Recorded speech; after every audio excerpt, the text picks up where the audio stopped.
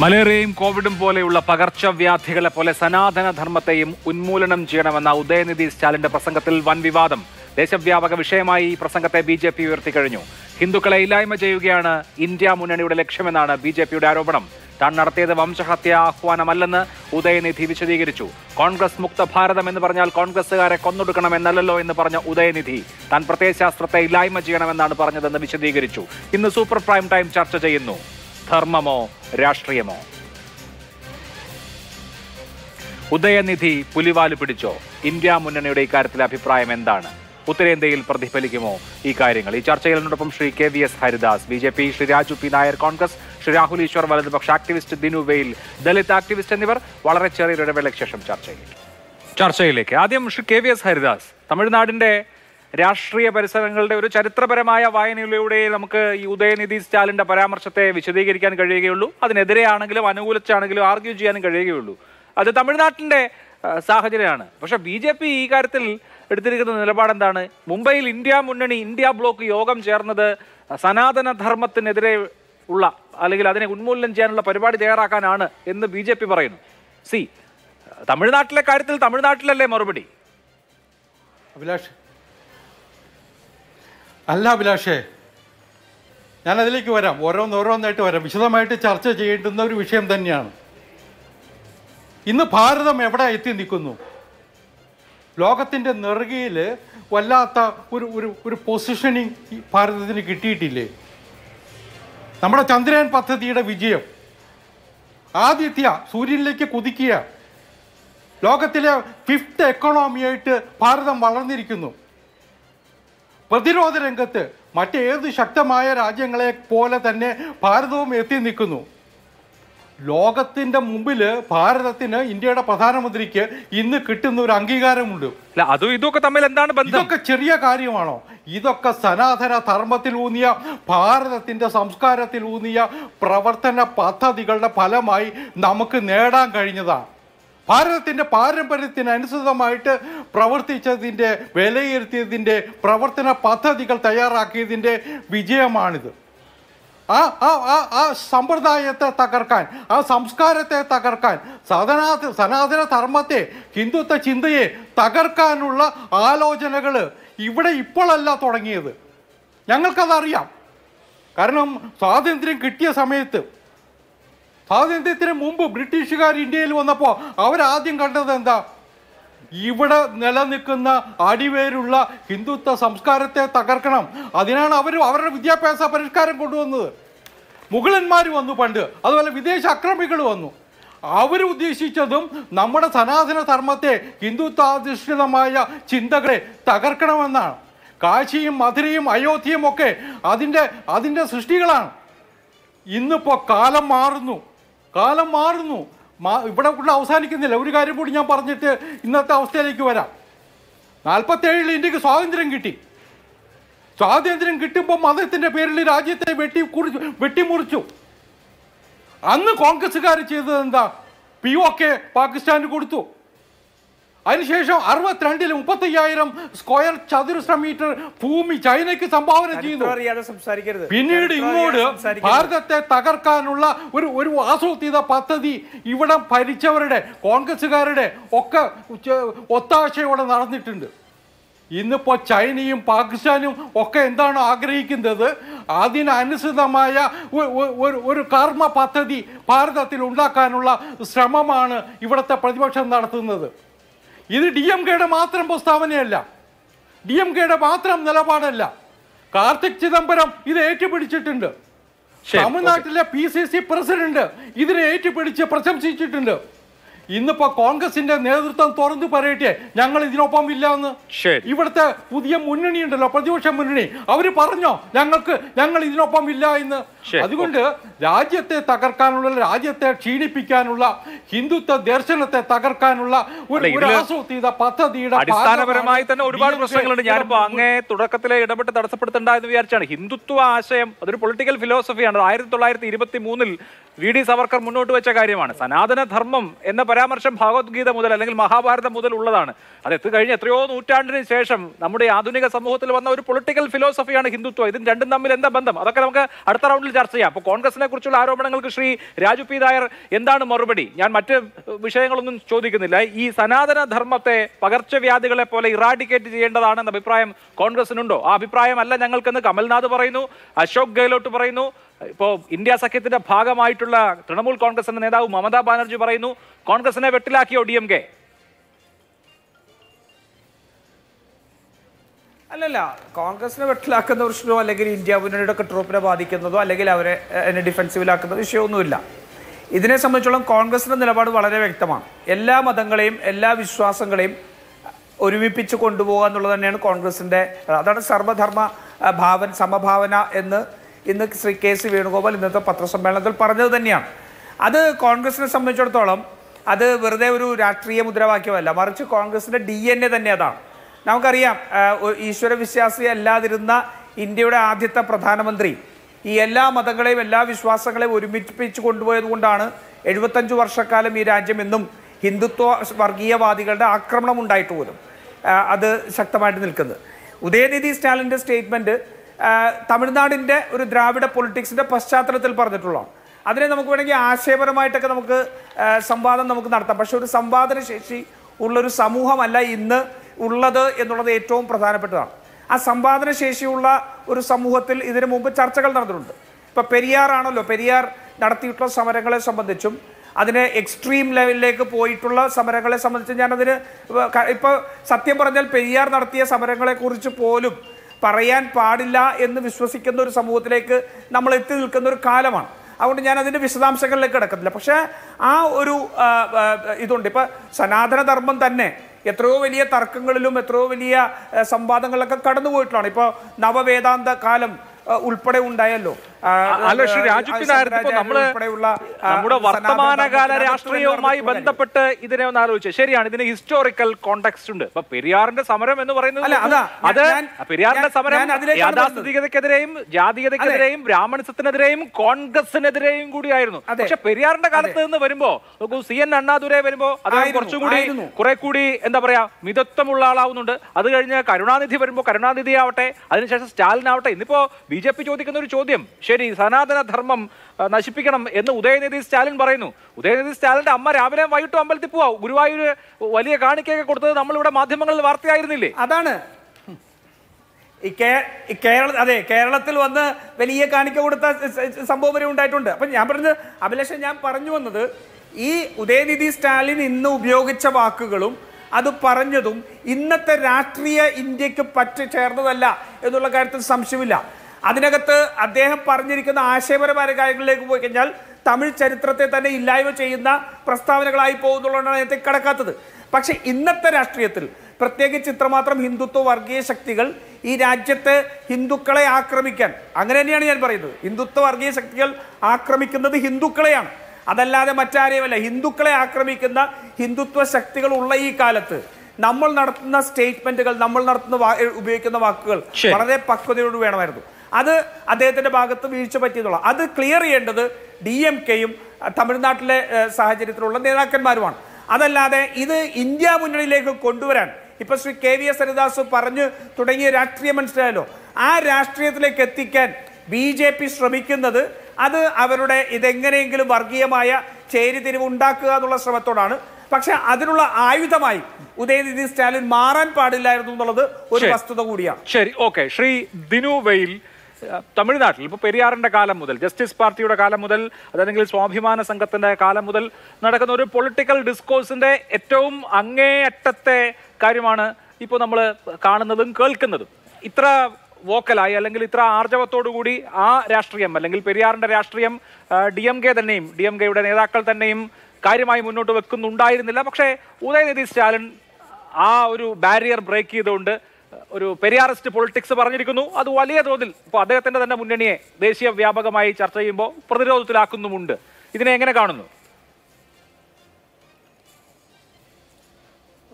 ആയിരത്തി തൊള്ളായിരത്തി ഇരുപത്തഞ്ചിലാണ് C V കുഞ്ഞിരാമനോട് നടത്തുന്ന ഇന്റർവ്യൂവിനകത്ത് ശ്രീനാരായണ ഗുരു പറയുന്നത് ഹിന്ദു എന്നൊന്നും ഇല്ലല്ലോ എന്ന് പറയുന്നത്. എന്നിട്ട് അദ്ദേഹം പന്ത്രണ്ട് തരം മതങ്ങളെക്കുറിച്ച് പറയുന്നു. അതിലൊരു മതമായി അദ്ദേഹം സനാതന ധർമ്മ മതവിശ്വാസത്തെക്കുറിച്ച് സൂചിപ്പിക്കുന്നുണ്ട്. ഇവിടുത്തെ പ്രധാനപ്പെട്ട പ്രശ്നം എന്ന് പറയുന്നത് ഒരു വിഭാഗം ജനങ്ങൾ സനാതന ധർമ്മത്തിൽ വിശ്വസിക്കുന്നതല്ല. ഫെയ്ത്ത് എന്ന് പറയുന്നത് ഏത് മനുഷ്യനും ആവാം പക്ഷേ കെ വി ഹരിദാസിനെ പോലുള്ള ആളുകളുടെ യഥാർത്ഥ ബോധ്യം അവിടെയാണ് ഇവിടെ പ്രശ്നം എന്ന് പറയുന്നത്. അതായത് ഇന്ത്യ രക്ഷപ്പെട്ടത് സനാതന ധർമ്മം കൊണ്ടാണെന്നൊക്കെ പറയുന്ന സമയത്തേക്ക് സനാതന ധർമ്മത്തിന് കൊടുക്കുന്ന സുപ്യോറിറ്റിയാണ് ഇവിടെ പ്രശ്നം എന്ന് പറയുന്നത്. ഇന്ത്യ രക്ഷപ്പെട്ടത് സനാതന ധർമ്മം കൊണ്ടേ അല്ല ഇന്ത്യ രക്ഷപ്പെട്ടത് ആയിരത്തി തൊള്ളായിരത്തി ഇരുപത്തി ഏഴ് ഡിസംബർ ഇരുപത്തൊന്നിന് നിങ്ങൾ പറയുന്ന സനാതനധർമ്മ വിശ്വാസങ്ങൾ അടങ്ങുന്ന മനുസ്മൃതി ചുട്ടരിച്ചുകൊണ്ട് എല്ലാവരെയും തുല്യരായി കാണുന്ന ഒരു ഭരണഘടന ഞാൻ നിങ്ങൾക്ക് നൽകുന്നു എന്ന് പറഞ്ഞുകൊണ്ട് doctor B R Ambedkar march സത്യാഗ്രഹം നടത്തിയതുകൊണ്ടാണ് ഇന്ത്യ രക്ഷപ്പെട്ടത്. ജനാധിപത്യത്തിൽ ഊന്നിയ ആധുനിക പൗരനിർമ്മിതി ഉണ്ടായതുകൊണ്ടാണ് സെക്യുലർ രാജ്യമായി മാറിയതുകൊണ്ടാണ് ഇന്ത്യ രക്ഷപ്പെട്ട് നിൽക്കുന്നത് എന്നുള്ളത് മിനിമം നമ്മൾ ആലോചിക്കേണ്ട പ്രധാനപ്പെട്ട ഒരു കാര്യമാണ്. ഇവിടെ മോഹൻ ഭാഗവതിനെ പോലുള്ള ആളുകൾ ഹിന്ദു രാഷ്ട്രമായി ഇന്ത്യയെ നിർമ്മിച്ചെടുക്കാൻ വേണ്ടി നോക്കുന്ന സമയത്ത് സനാതന ധർമ്മ വിശ്വാസം എല്ലാവരും അങ്ങ് ഏറ്റെടുക്കണം എന്ന് പറയുന്ന ഒരു കോണ്ടെക്സ്റ്റിലാണ് ഇവിടെ ഉദയനിധി സ്റ്റാലിനെ പോലുള്ള ആളുകൾ സനാതന ധർമ്മത്തിനെതിരെയുള്ള വളരെ ക്രൂഷ്യലായിട്ടുള്ള ആർഗ്യുമെന്റ് പറഞ്ഞത്. സനാതന ധർമ്മത്തിന്റെ ഈ ഒരു സുപ്രീമസി തുടച്ചു നീക്കണം എന്ന രീതിയിൽ നമ്മൾക്കതിനെ പുനർവായന ചെയ്യാൻ വേണ്ടി സാധിക്കുന്ന പ്രധാനപ്പെട്ട ഒരു കാര്യമാണ്. ഞാനിവിടെ ഒരൊറ്റ ഉദാഹരണം പറയാം. ഒരു ചരിത്രരേഖയാണ്.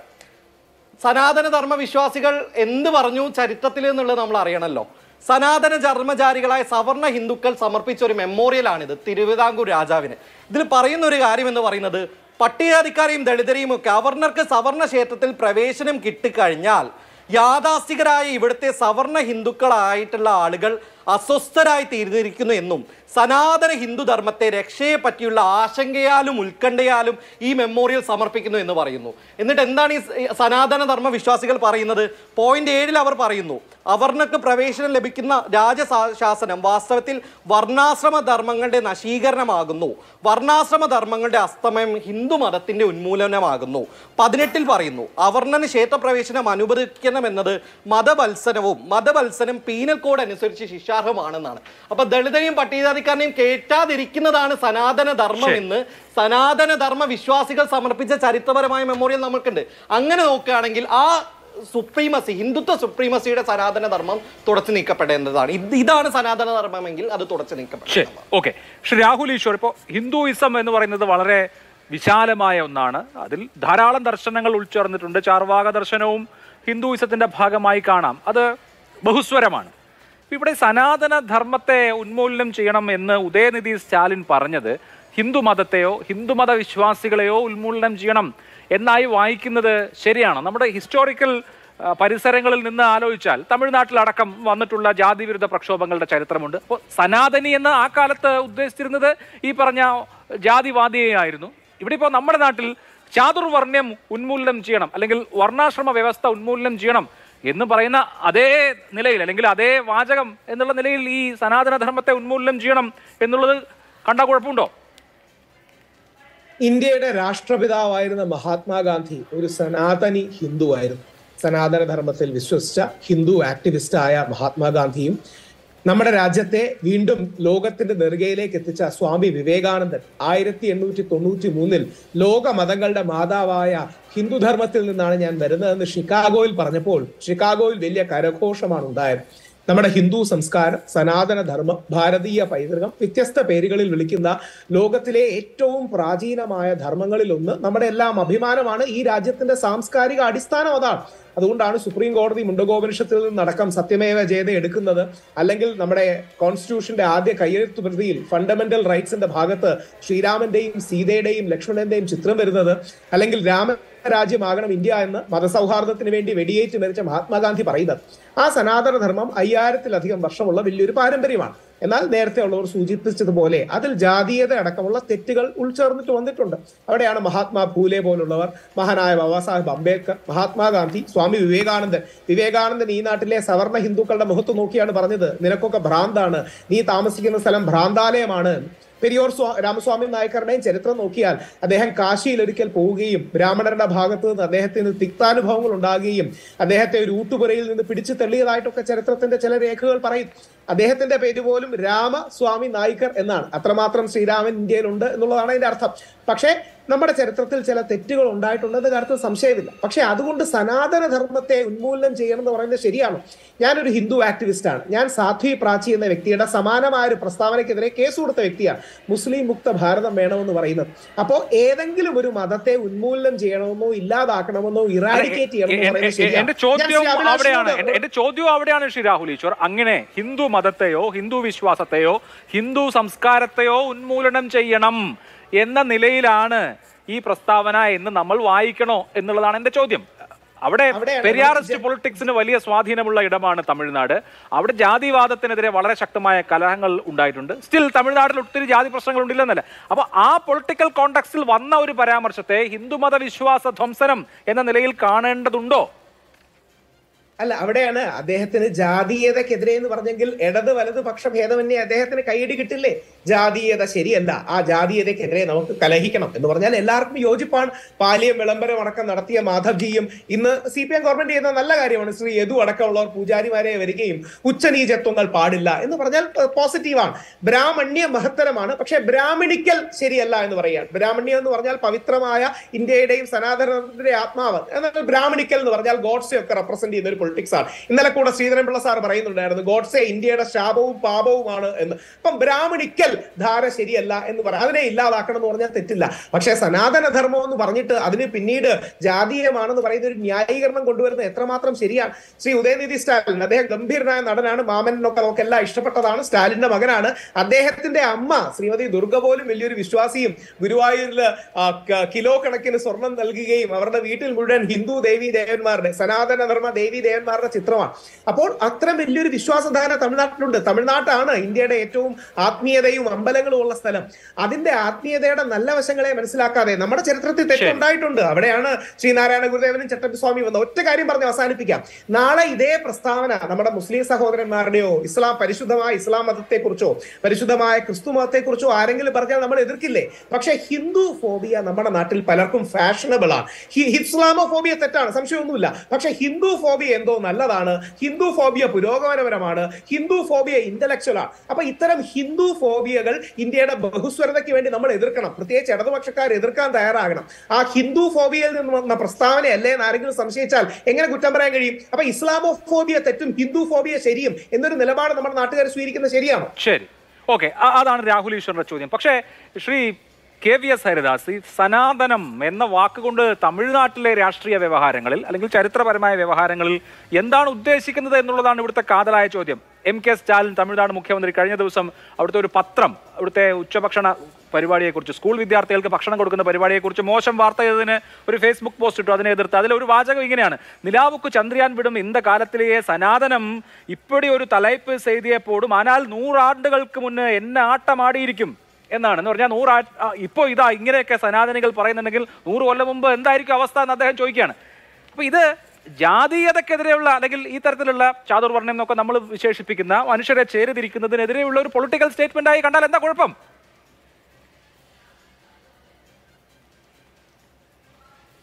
അല്ല അഭിലാഷ് ആദ്യമായിട്ട് അഭിലാഷ് ആദ്യം മനസ്സിലാക്കേണ്ടത് സനാതന ധർമ്മം എന്നത് തമിഴ് വാക്കല്ല. അതിലൊരു ഒരു സംസ്കൃതത്തിന്റെ ഭാഗമുണ്ട് ഹിന്ദിയുടെ ഭാഗമുണ്ട്. നമ്മളൊക്കെ കാണുന്നത് സനാതന ധർമ്മം എന്ന് പറയുന്നത് സംസ്കൃതം വാക്കായിട്ട് തന്നെയാണ്. ആ ആ ആ വാക്കുകളുടെ ആ ഒരു ഒരു ഒരു ഒരു യൂസേജിന്റെ ബാക്ക്ഗ്രൗണ്ടിൽ നിന്നിട്ട് വേണം ഇതിനെ വിലയിരുത്താൻ. രണ്ടാമത്തെ ഒരു കാര്യം ഈ ഇതൊക്കെ കഴിഞ്ഞതിന് ശേഷവും ഈ ഈ സ്റ്റാലിന്റെ പുത്രൻ താൻ പറഞ്ഞതിനെ ന്യായീകരിച്ച് വീണ്ടും വീണ്ടും രംഗത്ത് വരുന്നുണ്ടല്ലോ. അതിനെ പിന്തുണച്ചുകൊണ്ട് അവിടുത്തെ ഈ ഈ പറയുന്ന സോക്കോൾഡ് യു പി ഈ ഇപ്പോഴത്തെ പുതിയ പ്രതിപക്ഷ മുന്നണിയിലെ നേതാക്കന്മാരുണ്ട്. അവർക്കാർക്കും തിരുത്തണമെന്ന് തോന്നിയിട്ടില്ലല്ലോ. ഇതാണ് അവരുടെ വേർഷൻ എന്ന് അവർ നമ്മളോട് പറഞ്ഞിട്ടുണ്ടോ? ഇല്ലല്ലോ. ഇത് ഇത് യഥാർത്ഥത്തിൽ എന്താ? നാം ഞാൻ ആദ്യമേ സൂചിപ്പിച്ചു നമുക്കൊരു വലിയ പാരമ്പര്യമുണ്ട്. അയ്യായിരം വർഷത്തെ സാംസ്കാരിക പാരമ്പര്യമുണ്ട്. ധർമ്മത്തിൽ ഊന്നിയതാണ് ഹിന്ദുത്വത്തിൽ ഊന്നിയതാണ്. ആ ആ പാരമ്പര്യം കൊണ്ടാണ് നമ്മൾ ഇത്ര മാത്രം പിടിച്ചു നിന്നത്. നമ്മളെ തകർക്കാൻ വേണ്ടിയിട്ട് ലോകത്ത് മറ്റൊരു രാജ്യത്തിനും ഉണ്ടാകാത്ത വിധമുള്ള പ്രതിഷ വിഷമങ്ങൾ ഉണ്ടായിട്ടില്ലേ? വിദേശ അക്രമികൾ വന്നിട്ട്. ഇവിടുന്ന് സർവസ്വം കൊള്ളയടിക്കാൻ ശ്രമിച്ചിട്ടില്ലേ? നമ്മുടെ സംസ്കാരത്തിന്റെ അടിവേര് തോണ്ടാൻ പോലും ശ്രമിച്ചിട്ടില്ലേ? അതൊന്നും പരാ അതൊക്കെ പരാജയപ്പെട്ടത് എന്തുകൊണ്ടാണ് അവിടെയാണ് ഭഗവാൻ കൃഷ്ണൻ ഗീതയിൽ പറയുന്നുണ്ട്.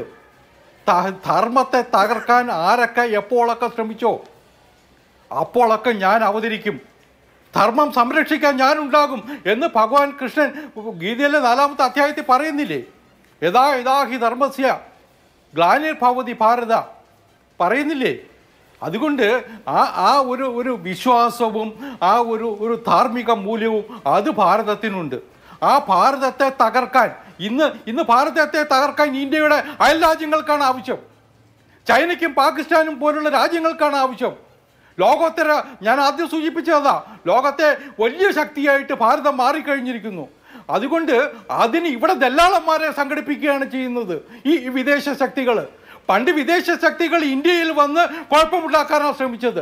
ഇന്ന് വിദേശ ശക്തികൾ ഇന്ത്യയിൽ കുഴപ്പമുണ്ടാക്കാൻ ദല്ലാളന്മാരെ സൃഷ്ടിക്കുകയാണ് ചെയ്യുന്നത്. അവർ പുറപ്പെടുവിക്കുന്ന പുതിയ പുതിയ സിദ്ധാന്തങ്ങളാണ് ഇതൊക്കെ പണ്ട് ചൈനയുമായിട്ട് എം ഒ യു ഒപ്പിട്ടവരുടെ പിൻവ പിൻ അവരുടെ പിന്തുണയും ഇവർക്കില്ല എന്ന് പറയാൻ പറ്റുമോ അല്ലെങ്കിൽ ഇതിനെ പരസ്യമായിട്ട് തള്ളി പറയാൻ എന്തുകൊണ്ടാണ് ഈ കൂട്ടർ മടിക്കുന്നത്? അതാണ് ഇന്ത്യയ്ക്ക് അറിയേണ്ടത് ഭാരതത്തിന് അറിയേണ്ടത്. ശരി. Shri Raju P Nair B J P കോൺഗ്രസിനോട് ചോദിച്ചിട്ടുണ്ട് സോണിയാഗാന്ധി അഭിപ്രായം പറയുമോ? രാഹുൽ ഗാന്ധി അഭിപ്രായം പറയുമോ? എന്നൊക്കെ. നിങ്ങളുടെ കർണാടകയിലെ നേതാവ് പ്രിയങ്ക് ഖാർഗെ ജാതീയത ഉള്ള ഒരു സംവിധാനമാണെങ്കിൽ അത് തുലയുന്നതാണ് നല്ലത് എന്ന് ഇതിനോട് ഏതാണ്ട് ചേർന്ന് നിൽക്കുന്ന പ്രസ്താവന നടത്തിക്കഴിഞ്ഞു കോൺഗ്രസിനകത്ത് സ്വാഭാവികമായും രണ്ടഭിപ്രായം വരാം. അപ്പോൾ നോക്കൂ ഒരു തെരഞ്ഞെടുപ്പിലേക്ക് രാജ്യം പോവുകയാണ്.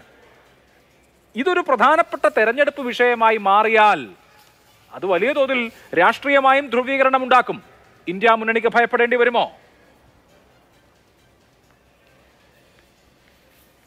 ഇല്ല അങ്ങനെ ഒരു ഭയപ്പാടൊന്നുമില്ല. ഇന്ത്യ മുന്നണി രൂപീകരിക്കുന്നതായിരിക്കുന്നത് സംഘപരിവാറിന്റെ ഈ ഹിന്ദുത്വ രാഷ്ട്രീയത്തിനെതിരാണ്. ഞാൻ പറയട്ടെ ഇവിടെ ഇപ്പോൾ അദ്ദേഹം ധർമ്മത്തിന്റെ കാര്യവും ഭഗവത്ഗീതയൊക്കെ ഉദ്ധരിക്കുന്നുണ്ടായിരുന്നു. ഈ the difficulty of being good എന്ന് പറയുന്നൊരു പുസ്തകത്തിൽ ഗുരുചരൻ ദാസ് ഈ ധർമ്മ ഈ സട്ടിൽ എന്നുള്ള ഒരു വാക്ക് ഉപയോഗിക്കുന്നുണ്ട് അത് പലപ്പോഴും രാമായണത്തെ തന്നെ ഉദ്ധരിച്ചുകൊണ്ട് പല ഘട്ടങ്ങളിൽ ധർമ്മങ്ങൾ തമ്മിൽ അങ്ങോട്ടും ഇങ്ങോട്ടും വൈരുദ്ധ്യത്തിലേക്ക് വരുമ്പോൾ എന്ത് ചെയ്യുന്നു എന്നുള്ളതിനെ സംബന്ധിച്ചാണ് അദ്ദേഹം സമകാലീന രാഷ്ട്രീയം വെച്ച് പറഞ്ഞിട്ടുള്ളത്. ഞാൻ ചോദിക്കട്ടെ അങ്ങനെ ഈ ധർമ്മത്തിന്റെ പേരിൽ ഉള്ള ഒരു എക്സ്പ്ലനേഷനിലേക്ക് പോയി കഴിഞ്ഞാൽ ജാതീയത ധർമ്മത്തിന്റെ ഭാഗമായിരുന്നോ? ആ ജാതീയത ധർമ്മത്തിന്റെ ഭാഗമല്ലാതായിരിക്കുമ്പോൾ തമിഴ്നാട്ടിലെ പ്രത്യേക സാഹചര്യത്തിൽ നമുക്കറിയാം ഈ കഴിഞ്ഞ ദിവസം പോലും ദളിതരെ പ്രവേശിപ്പിക്കാത്ത അമ്പലം ഉദയതി ഡി എം കെയുടെ ഗവൺമെന്റ് അത് തുറന്നു കൊടുക്കുകയും അവിടെ വലിയ വിഷയങ്ങൾ ഉണ്ടായതിനെ സംബന്ധിച്ച് നമുക്കറിയാം. അപ്പോൾ ഇന്ന് ജാതീയത കേരളത്തിൽ നിന്ന് നമുക്ക് സംസാരിക്കുമ്പോൾ കുറേ കൂടി കംഫർട്ട് സോണിലാണ് പക്ഷേ അവിടുത്തെ ഒരു ജാതീയത വലിയ തോതിൽ ഇന്ന് തമിഴ്നാട്ടിൽ അല- അലയടിക്കുന്ന ഒരു സമയത്ത് അവിടുത്തെ പെരിയാറിന്റെ എല്ലാം സ്മരണ ഉൾക്കൊണ്ട് ഞാൻ പറഞ്ഞല്ലോ ഉദയനിധി സ്റ്റാലിൻ പറഞ്ഞത് പെരിയാർ ചെയ്തതിനേക്കാളൊക്കെ എത്രയോ ചെറുതാണ്. പെരിയാർ ചെയ്തിരിക്കുന്ന കാര്യങ്ങളെക്കുറിച്ച് നമുക്കിപ്പോൾ സംസാരിക്കാൻ പോലും കഴിയാത്ത സാഹചര്യത്തിലേക്ക് എത്തിയിരിക്കുകയാണ്. രജനീകാന്ത് രണ്ടായിരത്തി ഇരുപതിൽ അദ്ദേഹം ആയിരത്തി തൊള്ളായിരത്തി എഴുപതിൽ നടത്തിയ ഒരു സമരത്തെക്കുറിച്ച് പറഞ്ഞതിന്റെ പേരിൽ അദ്ദേഹത്തിന് മാപ്പ് പറയേണ്ടി വന്നു എന്നുള്ളതാണ് എന്റെ ഓർമ്മ. അപ്പോൾ അത്തരത്തിലൊരു സാഹചര്യത്തിലേക്ക് എത്തിയിരിക്കുന്ന സമയത്ത് ആ ദ്രാവിഡ രാഷ്ട്രീയത്തിന്റെയും അവിടുത്തെ ജാതീയതയും പശ്ചാത്തലത്തിൽ ഉദയനീതി പറഞ്ഞിരിക്കുന്നത് അത് ഹിന്ദു മതത്തിന്റെ ഉന്മൂലനമല്ല. സനാതന ധർമ്മം എന്ന് പറയുന്നത് ഹിന്ദുവായി മാറുന്നത് എങ്ങനെയാണ്?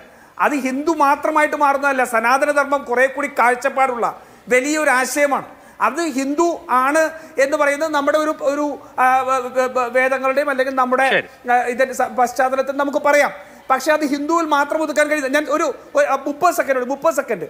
ഇനി അങ്ങനെ ഹിന്ദു മൂല്യങ്ങൾ എടുത്താൽ പോലും കെ വി എസ് ഹരിദാസും ഹിന്ദുത്വവും ഒക്കെ എവിടെയാണ് നിൽക്കുന്നത്? ആ മൂല്യങ്ങൾക്കെല്ലാം എതിർവശത്ത് നിൽക്കുന്ന രാഷ്ട്രീയ മുദ്രാവാക്യമാണ് ഹിന്ദുത്വ. ഇവർക്ക് ഹിന്ദുവിനെ കുറിച്ച് പറയാൻ അവകാശമുണ്ടോ? ഹിന്ദു എന്ന് പറയുന്ന അതിനകത്ത് നേരത്തെ രാഹുൽ ഈശ്വർ പറഞ്ഞ പോലെ ഉണ്ടായിരുന്ന ന്യൂനതകൾക്കെല്ലാം അപ്പുറത്ത് നിന്ന് നവീകരിച്ചിട്ടുള്ള അല്ലെങ്കിൽ നവീകരണം നടന്നുകൊണ്ടിരിക്കുന്ന ഒരു ആശയത്തിന് എതിർവശത്ത് നിൽക്കുന്നവരല്ലേ ഹിന്ദുത്വ രാഷ്ട്രീയത്തിന്റെ വക്താക്കൾ? ഇവർ ഇതേ വാക്കുകൾ മുസ്ലിങ്ങൾക്കെതിരെ ഉപയോഗിക്കാറുണ്ടല്ലോ. അപ്പം എന്താ ഈ ധാർമ്മിക രോക്ഷം ഉണ്ടാവുന്നല്ലോ? ഞാൻ ഒരിക്കലും ഉദയനിധി സ്റ്റാലിൻ പറയുന്നതിനെ ന്യായീകരിക്കുന്നില്ല. ഇന്നത്തെ കാലത്ത് ഉപയോഗിക്കാൻ പാടില്ലാത്ത വാക്ക് എന്ന് തന്നെയാണ്. പക്ഷേ ഇതിനേക്കാളും മ്ലേച്ഛമായ വാക്കുകൾ ഗോലി മാറോ സാലോങ്കോ എന്നു പറഞ്ഞ അല്ലെങ്കിൽ ഹറാം കെ ബെച്ച് ഹറാം സാദെ എന്ന് പറയുന്ന അവർക്ക് വോട്ട് കൊടുക്കരുത് എന്ന് പറയുന്നവർ ബി ജെ പിയുടെ എം പിയും. എം എൽ എയും ഒക്കെ ആയിട്ടിരിക്കുന്ന രാഷ്ട്രീയ പാർട്ടി. ആ രാഷ്ട്രീയ പാർട്ടിക്ക് ഈ ധർമ്മത്തെക്കുറിച്ച് എല്ലാ ധർമ്മങ്ങളുടെയും സമഭാവനയെക്കുറിച്ച് പറയാൻ എന്ത് അവകാശമാണുള്ളത്? ശരി ഓക്കെ.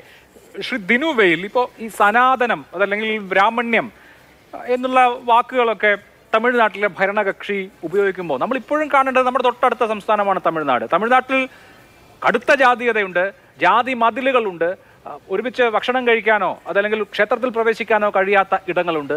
ഇതൊക്കെ ആര് പ്രാക്ടീസ് ചെയ്യുന്നതാണ് എന്നൊരു പ്രശ്നം കൂടിയുണ്ട്. തമിഴ്നാട്ടിലെ ജാതി കൊലകളോ അതല്ലെങ്കിൽ ജാതി അതിക്രമങ്ങളോ ഒക്കെ ഈ പറഞ്ഞ സോക്കോൾഡ് സവർണർ എന്നുള്ള നിലയിൽ ചെയ്യുന്നതാണോ? ഒരു ഒ ബി സി വിഭാഗം ദളിതരെ ഡിസ്ക്രിമിനേറ്റ് ചെയ്യുന്ന അല്ലെങ്കിൽ പരസ്പരം രണ്ട് ഒ ബി സി വിഭാഗങ്ങൾ തമ്മിൽ കടുത്ത ശത്രുതയുള്ള പരിസരത്താണ് തമിഴ്നാട് ജീവിക്കുന്നത്. ഒരു തവണ പോലും ബി ജെ പിയോ അതല്ലെങ്കിൽ സംഘപരിവാർ സംഘടനകളോ ഭരിക്കാത്ത ഇടമാണ് തമിഴ്നാട്. അവിടെ ഈ പറഞ്ഞ ദ്രാവിഡ രാഷ്ട്രീയം ആദ്യം മുതലേ ഉള്ള തമിഴ്നാട്ടിൽ നമ്മുടെ തൊട്ട അയൽപ്പക്കത്ത് ഇപ്പോഴും ജാതി മതിലുകൾ ഉണ്ട് എന്നൊരു സാഹചര്യം കൂടി മനസ്സിലാക്കണം. അതുകൊണ്ട് ഈ കേവലമായി കുറെ ജാർഖണ്ഡ്സ് ഉപയോഗിക്കുന്നത് കൊണ്ട് സാമൂഹ്യ നീതി ആവില്ലല്ലോ. ഉറപ്പായും. അതിലേക്ക് വരുന്നതിന് മുന്നേ ഇവിടെ കെ വി എസ് ഹരിദാസ് പറഞ്ഞിട്ടുണ്ടായിരുന്നു ഹിന്ദുത്വത്തിൽ ഊന്നിയ പാരമ്പര്യമാണ് ഇന്ത്യയുടെ പാരമ്പര്യം. അതൊക്കെ അങ്ങ് കയ്യിൽ വെച്ചാൽ മതി. വൈവിധ്യത്തിന്റെയും ജനാധിപത്യത്തിന്റെയും പാരമ്പര്യത്തിലാണ് ഇന്ത്യൻ ജനത നിൽക്കുന്നത്. സംഘകാലത്തിന്റെ പാരമ്പര്യത്തിലാണ് ഇന്ത്യൻ ജനത നിൽക്കുന്നത്. അതുകൊണ്ട് നിങ്ങൾക്ക് മാത്രം വേണമെങ്കിൽ നിങ്ങൾ അങ്ങ് വിശ്വസിച്ചോളൂ ഇത്തരം അബദ്ധങ്ങളൊക്കെ തന്നെ. പക്ഷേ ചരിത്രബോധമുള്ള ഒരു മനുഷ്യനും പറയാൻ വേണ്ടി പറ്റാത്ത സാധനമാണ് ഹിന്ദുത്വത്തിലാണ് ഇന്ത്യയുടെ പാരമ്പര്യം എന്നുള്ളതൊക്കെ. അപ്പൊ അത് അങ്ങയുടെ ഒരു വിശ്വാസമായിട്ടൊക്കെ അങ്ങ് കയ്യിൽ വെച്ചാൽ മതി. അത് ചരിത്രവിരുദ്ധമാണെന്നുള്ളത് അങ്ങ് ആലോചിക്കേണ്ട പ്രധാനപ്പെട്ട കാര്യമാണ്. ഇവിടെ നേരത്തെ സൂചിപ്പിച്ച പോലെ തന്നെ തമിഴ്നാട് അടക്കമുള്ള സ്ഥലങ്ങളിൽ അരുന്ധതിയാർ അടക്കമുള്ള ജാതിയിൽപ്പെട്ട ആളുകൾ വളരെ ഹീനമായിട്ടാണ് ഇന്നും അവരുടെ തൊഴിലുകൾ ചെയ്യുന്നത് എന്നുള്ളത് നമുക്കറിയാം. മാനുവൽ സ്കാവഞ്ചേഴ്സ് ആയിക്കൊണ്ട് അത്തരം സമുദായങ്ങൾ നിലനിൽക്കുന്നത് നമുക്കറിയാം. ഇവിടെ മറ്റൊരു പ്രധാനപ്പെട്ട പ്രശ്നം അത്തരം ഒരു ജാർഗൺ ഉപയോഗിച്ചതിനെ തന്നെയാണ് ഞാൻ ഇവിടെ സൂചിപ്പിക്കാൻ ഉദ്ദേശിക്കുന്നത്. അദ്ദേഹം ഉപയോഗിച്ച സനാതന ധർമ്മം എന്ന ജാർഗൺ എന്താണ് പ്രശ്നമെന്ന് നമ്മൾ വ്യക്തമാക്കേണ്ടതുണ്ട്. മനുസ്മൃതിയുടെ രണ്ടാം അധ്യായത്തിനകത്ത് വേദം പുരാണം സദാചാരം എന്ന് പറഞ്ഞുകൊണ്ട് സദാചാരത്തെ പറയുന്നത് ചാതുർവർണങ്ങളെയും അന്തരാള ജാതികളുടെയും ധർമ്മത്തെയാണ് സദാചാരം എന്ന് പറയുന്നു. അർത്ഥശാസ്ത്രം എടുത്തു നോക്കാം നമുക്ക്. രാജധർമ്മം എന്ന് പറയുന്ന വിനയാധികാരത്തിനകത്ത് പറയുന്നത് ചാതുർവർണ്യം പരിപാലിക്കുക എന്നുള്ളതാണ് സ്വധർമ്മമായിട്ട് അവിടെ പറയുന്നത്. യാജ്ഞവൽക്യ സ്മൃതി നമുക്ക് എടുത്തു നോക്കാം. ഇതിനകത്തും സമാനമായിക്കൊണ്ട് ചാതുർവർണ പരിപാലനമാണ് സനാതന ധർമ്മം എന്ന് പറയുന്നുണ്ട്. ഈ വ്യവഹാരമാലയ്ക്കകത്തുള്ള ദണ്ഡനങ്ങളുടെ രീതികൾ നമ്മൾ എടുത്തു നോക്കിക്കഴിഞ്ഞാലും സമാനമായിട്ടാണ് പറയുന്നത്. ഇത്തരത്തിൽ നമ്മുടെ മുന്നിൽ ഇന്ന് നിലവിലുള്ള ഹിന്ദു ടെക്സ്റ്റുകളെല്ലാം തന്നെ നമ്മൾ പരിശോധിച്ചു കഴിഞ്ഞാൽ ഇതുകൊണ്ടാണ് സഹോദരൻ അയ്യപ്പൻ പറഞ്ഞിട്ടുള്ളത്. ധർമ്മം ധർമ്മം വർണാശ്രമ ധർമ്മമാണ് സനാതന ധർമ്മം എന്ന് പറഞ്ഞിട്ടുള്ളത്. അപ്പം ജാതീയതയിൽ നിന്ന് മാറ്റിവെച്ചുകൊണ്ട് സനാതനം എന്ന് പറഞ്ഞൊരു ധർമ്മത്തെ നമുക്ക് എടുക്കാൻ വേണ്ടി പാടില്ല. ഡോക്ടർ അംബേദ്കർ കൃത്യമായിട്ട് സൂചിപ്പിക്കുന്നുണ്ട്. കേൾക്കുന്ന സമയത്ത് വളരെ കൗതുകമുള്ള ഒരു സാധനമാവും വർണാശ്രമ ധർമ്മം എന്നുള്ളതും സനാതന ധർമ്മം എന്നുള്ളതൊക്കെ. ഇത് എല്ലാ കാലത്തും നിലനിൽക്കുന്നത് എന്നൊക്കെ നമുക്ക് പറയാം. എന്നിട്ട് അംബേദ്കർ ഒരു കാര്യം കൂടെ പറയുന്നുണ്ട്. Politically it is use in the opposite way for the very narrow purpose of assimilation and domination എന്നുള്ളത്. സനാതന ധർമ്മത്തെ ഇന്ന് രാഷ്ട്രീയ ആയുധമായിട്ട് ഉപയോഗിക്കുന്നത് doctor B R Ambedkar annihilation of caste പറഞ്ഞു വെച്ച അതേ വാക്കിലാണ്. Narrow purpose of assimilation and domination ഏകീകൃതമായ ഒരു രാഷ്ട്ര നിർമ്മാണത്തിലേക്ക് വേണ്ടിയാണ് സനാതനധർമ്മം എന്ന് പറയുന്ന ആശയത്തെ കൊണ്ടുവയ്ക്കുന്നത്. ചാതുർവർണത്തിന്റെ തിരിച്ചു കൊണ്ടുവരലിന് സനാതനധർമ്മത്തെ ഉപയോഗിക്കുന്ന ഒരു കാലഘട്ടത്തിൽ അത്തരം സനാതനധർമ്മ ആശയത്തെ തുടച്ചു നീക്കണമെന്ന് പറയുന്നത് ഹിന്ദു ഫോബിയല്ല അങ്ങനെയാണെങ്കിൽ അംബേദ്കറും സഹോദരൻ അയ്യപ്പനും ഒക്കെ ഹിന്ദു ഫോബിക്കുകളാണെന്ന് നമുക്ക് പറയേണ്ടി വരും. ശരി അതിനൊരു മറുപടി വേണം Shri Rahul annihilation of caste എഴുതുമ്പോൾ ബി ആർ അംബേദ്കർക്കില്ലാത്ത ജാതി വേണ്ട മതം വേണ്ട ദൈവം വേണ്ട മനുഷ്യന് എന്ന് പറയുമ്പോൾ സഹോദരൻ അയ്യപ്പൻ ഇല്ലാത്ത.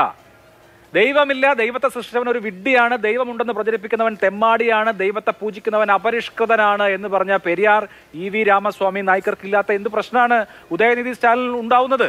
അയാൾ നിരീശ്വരവാദിയായിരിക്കും. അയാളുടെ അമ്മ ക്ഷേത്രത്തിൽ പോകുന്ന വിശ്വാസിയാണല്ലോ. അപ്പോൾ ഒരാൾക്ക് നിരീശ്വരവാദിയായ ഒരാൾക്ക് അയാളുടെ അഭിപ്രായം പറഞ്ഞൂടെ? ഇതൊക്കെ മുൻകാലങ്ങളിലും ഓരോരുത്തർ പറഞ്ഞിട്ടുള്ളതാണ്. ഒരു തെറ്റുമില്ല. അവിടെയാണ് ആശയം പറയുന്നതിന് തെറ്റില്ല. പക്ഷെ ആശയം ഹേറ്റ് സ്പീച്ച് അഥവാ വിദ്വേഷ പ്രസംഗത്തിന്റെ പരിധിയിൽ വരുന്നതാണോ നമ്മൾ ചിന്തിക്കണം. ഉദാഹരണം ഡെങ്കു മലേറിയ കൊറോണ തുടങ്ങിയ രോഗങ്ങളോട് ഉപമിക്കുക ഇറാഡിക്കേറ്റ് എന്ന വാക്ക് ഉപയോഗിക്കുക. അവിടെയാണ് ഈ വിഷയം കുറെ കൂടെ സെൻസിറ്റീവായി കൈകാര്യം ചെയ്യേണ്ടതാണ്. ഞാൻ അഭിമാനപൂർവം പറയുന്ന ഒരു കാര്യമാണ്. ഞാനൊരു ആര്യ ബ്രാഹ്മണ സവർണ ഹിന്ദു വലതുപക്ഷ ആക്ടിവിസ്റ്റാണ് എന്നാൽ ഞങ്ങളുടെ സമുദായത്തിന് പ്രത്യേകിച്ച് ബ്രാഹ്മണ സമുദായത്തിന് ചരിത്രത്തിൽ തെറ്റുകൾ ഉണ്ടായിട്ടുണ്ടെന്ന കാര്യത്തിൽ സംശയമില്ല. അവിടെയാണ് നേരത്തെ പെരിയാറിന്റെ കാര്യം പറയുകയുണ്ടായി അല്ലെങ്കിൽ നേരത്തെ അനൈലേഷൻ ഓഫ് കാസ്റ്റ് എന്ന അംബേദ്കറുടെ നിലപാട് പറയുണ്ടായി പക്ഷെ നമ്മുടെ നാട്ടിൽ അനൈലേഷൻ ഓഫ് കാസ്റ്റ് അല്ല. ഹാർമണൈസേഷൻ ഓഫ് കമ്മ്യൂണിറ്റീസ് എന്ന ഗാന്ധിജിയുടെ നിലപാടേ വിജയിക്കുകയുള്ളൂ. ഈ ജാതി സ്വത്വങ്ങൾ ഇല്ലാതാക്കുകയല്ല പകരം വ്യത്യസ്ത സാമുദായിക സ്വത്വങ്ങളെ രാഷ്ട്രഭാവനയിലേക്ക് ചേർത്ത് വെക്കുന്ന മഹാത്മാഗാന്ധിയുടെ നിലപാടേ ഉള്ളൂ. സഹോദരനയ്യപ്പനോട് ജാതി വേണ്ട മതം വേണ്ട ദൈവം വേണ്ട മനുഷ്യന് എന്ന് ശ്രീനാരായണ എന്ന് പറയുമ്പോൾ ശ്രീനാരായണ ഗുരുദേവൻ പറയുന്നുണ്ട് അയ്യപ്പൻ എങ്ങനെയാണെങ്കിൽ അങ്ങനെ മതി എന്ന്. സി ആ രീതിയിലുള്ള ഒരു ബഹുസ്വരത മാത്രമല്ലേ നമ്മുടെ നാട്ടിൽ അപ്രോച്ച് ഉള്ളൂ. രണ്ട് പെരിയാർ ബഹുസ്വരതയുടെ കാര്യം പറയുമ്പോൾ ശ്രീ രാഹുൽ ഈശ്വർ നോക്കൂ നമ്മൾ അതിനെ വിശാലമായി കാണണം. എനിക്ക് സന്യാസം തന്നത് ബ്രിട്ടീഷുകാരാണ് എന്നാണ് നാരായണ ഗുരു പറഞ്ഞത്. അല്ലാതെ സനാതന ധർമ്മമാണ് എന്ന് പറഞ്ഞോ? ഇവിടെ ഇവിടെ അരുവിക്കരയിൽ അരുവിക്കരയിൽ പ്രതിഷ്ഠ നടത്തിയിട്ട് എന്താണ് ഗുരു പറഞ്ഞത്? ഇത് നമ്മുടെ ശിവനാണ് എന്നാണ്. സനാതനിയായിരുന്നോ ഗുരു? അതെ അതെ. അല്ല ഗുരു ഗുരു ഇല്ലായിരുന്നെങ്കിൽ ശ്രീനാരായണ ഗുരുദേവനും ചട്ടമ്പി സ്വാമി ഇല്ലായിരുന്നെങ്കിൽ ഇന്ന് ഹിന്ദുക്കൾ ഈ നാട്ടിൽ ന്യൂനപക്ഷമാവുമായിരുന്നു. ശ്രീനാരായണ ഗുരുദേവനും ചട്ടമ്പി സ്വാമിയാണ് കഴിഞ്ഞ നൂറ്റാണ്ടിൽ ഈ ഹിന്ദു ഫ്രെയിംവർക്കിനെ പിടിച്ചു നിർത്തിയത്. അതായത് കേരള ജനസംഖ്യയുടെ ബഹു ബഹുഭൂരിപക്ഷമുള്ള ഈഴവ സമുദായത്തെയും നായർ സമുദായത്തെയും വിശാലമായ ഈ ഹിന്ദു ഫ്രെയിംവർക്കിനോട് ചേർത്ത് നിർത്തുകയും ദൈവദശകത്തിൽ അടക്കം സായൂജ്യം നൽകും ആര്യനും എന്ന പദം പ്രയോഗിക്കുകയും വിശാല ഹിന്ദു ഫ്രെയിംവർക്ക് ഒരു കയ്യിലും എന്നാൽ മതസൗഹാർദ്ദത്തിന്റെ ഫ്രെയിംവർക്ക് കയ്യിലും നിർത്തിയ ശ്രീനാരായണ ഗുരുദേവൻ ഒരു ഹിന്ദു സന്യാസി അല്ലാതെ പിന്നെ ആരാണ്? ചട്ടമ്പി സ്വാമി ഒരു ഹിന്ദു സന്യാസി അല്ലാതെ പിന്നെ ആരാണ്? അവർക്ക് മറ്റു ഇവരൊക്കെ- മതങ്ങളോട് ഹിന്ദു രാഹുൽ ഈശ്വർ പറഞ്ഞ ഇടത്ത് ഞാനിപ്പോ ശ്രീനാരായണ ഗുരു ഇല്ലായിരുന്നെങ്കിൽ ഒരുപക്ഷെ ഹിന്ദുക്കൾ ഇപ്പോൾ കേരളത്തിൽ ന്യൂനപക്ഷമായനെ എന്നുള്ള വാദത്തോട് യോജിക്കുകയാണ്. ക്ഷേത്രപ്രവേശന വിളംബരം ഇല്ലായിരുന്നെങ്കിലും ഹിന്ദുക്കൾ കേരളത്തിൽ ന്യൂനപക്ഷമായനെ. എന്തുകൊണ്ടാണ് ആ വാദത്തിന് പ്രസക്തി വരുന്നത്? കടുത്ത ജാതി പീഡ മൂലം. കേരളത്തിലെ. ബഹുഭൂരിപക്ഷം വരുന്ന സോക്കോൾഡ് ഹിന്ദുക്കൾ ഈ പറഞ്ഞ വർണാശ്രമ ധർമ്മത്തിൽ എവിടെയായിരുന്നു? അവർ ക്ഷേത്രത്തിൽ പോലും പ്രവേശനം നിഷേധിക്കപ്പെട്ട ആളുകളായിരുന്നു. അവർ കൂട്ടത്തോടെ അവർ കൂട്ടത്തോടെ മതം മാറുന്ന ഘട്ടത്തിലാണ് ക്ഷേത്രപ്രവേശന വിളംബരം പോലും വന്നത്. ശരിയാണ് രാഹുൽ ഈശ്വർ പറഞ്ഞത്. അപ്പൊ എന്താണ് സനാതന രണ്ട് രാഹുൽ തന്നെ പറഞ്ഞു വരുന്നത്?